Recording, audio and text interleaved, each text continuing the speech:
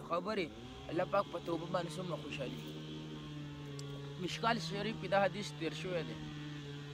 نو هغه کې ما هلته کراچۍ کې د هغې په شرح کې توضیح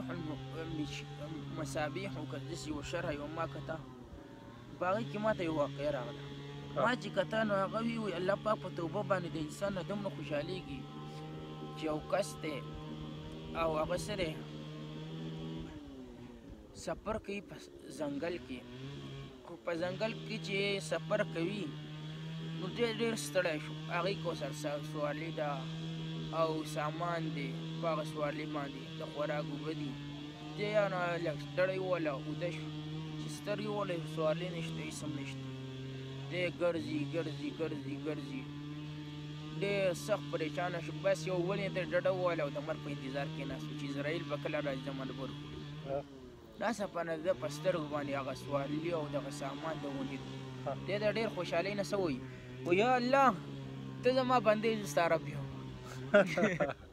خوله یې خراب شوه داسې وي چې الله زه ستاسې یم زه ستا بنده یم بنده یم او ته زما رب یم د ډېر خوشحالۍ نه و یا الله ته زما بندې زه ستا رب یم دومره دی خوشاله دومره خوشاله وای چې کله انسان توبه وباسي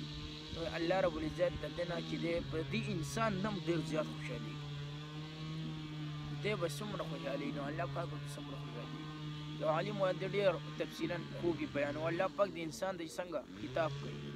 اخر کې وته اول کې وته دا غو په جوړک بډلو اے بګوړ انسانا څنګه ماته پیدا کړي چا له لاړې چا عبادت کړي اخر یې کوته ای زما بنده څومره ښایسته مې پیدا کړي ته بیا لاړې چا باندې اخته شوې